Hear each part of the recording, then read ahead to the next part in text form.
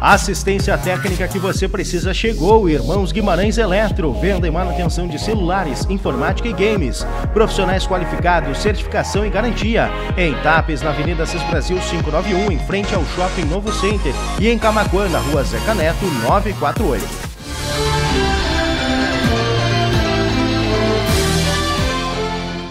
Uma equipe do TVE Repórter apresentou nesta semana o trabalho dos cuteleiros gaúchos, entre os entrevistados está o empresário Márcio Dávila, um dos proprietários da cutelaria Dávila.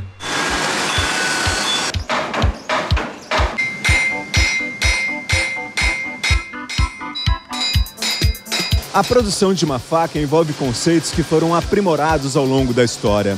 É uma atividade que atrai muita gente, seja por um simples hobby ou até mesmo por interesse profissional. O resultado do trabalho dos cuteleiros são peças que vão desde uma simples faca até peças comparadas a obras de arte. Um pouco desse ofício você vai conhecer agora no TVR Repórter. Os Guardiões da Cutelaria.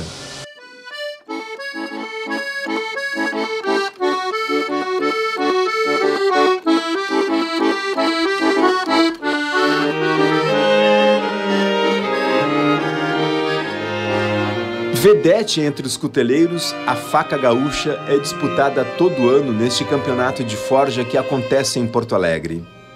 O objetivo desse campeonato é fomentar e desenvolver a cutelaria gaúcha dentro do estado.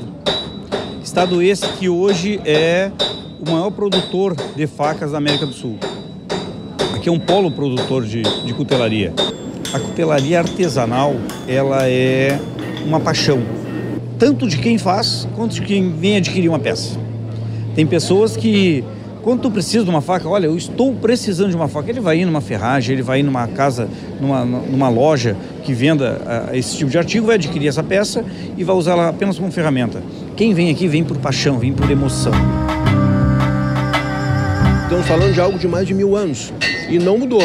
Sem fogo, sem aço, sem bigorna e sem uma pessoa, não se cria uma faca.